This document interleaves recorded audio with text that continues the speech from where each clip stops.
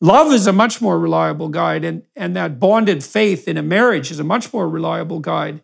This is why, in the long run, I am optimistic. If Western civilization, like a spoiled child, goes down the drain, something better will replace it. There's a kind of, of uh, uh, I don't know, you'd call it a, a capitalism of the spirit. Uh, that's that's the wrong image because bad money drives out good. I'm saying that uh, morally good money drives out bad. Hedonism doesn't work.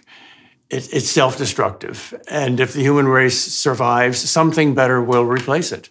We will learn. Well, hedonism hedonism doesn't work technically. Like we looked at the effect of positive emotion on decision making. Okay, so to pursue hedonism is to suppress negative emotion, let's say but also to pursue positive emotion.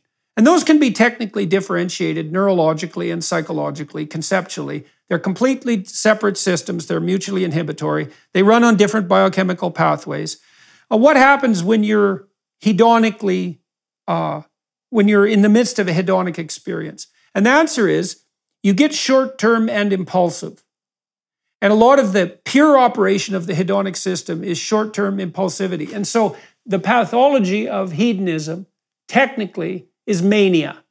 And it's the counterpart to depression, let's say. And manic people, they want to do everything at once and they're unbelievably impulsive. And so they can't make good decisions. And you might say, well, if your philosophy is hedonic, then whatever makes you happiest is a good decision. But then you see pathologies of hedonism that produce impulsivity. And the way out of that is to recognize that it's sacrifice that's the right replacement for hedonism.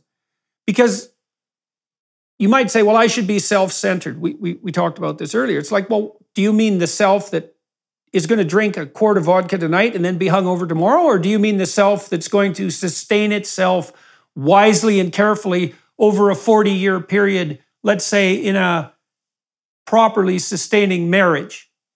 And so it isn't even hedonism, it's narrow, impulsive immature two year old hedonism.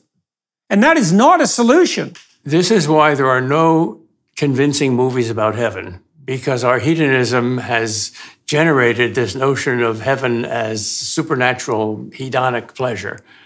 Whether it's the beatific vision or, or, or music or, or golden streets or whatever, uh, we're bored by that.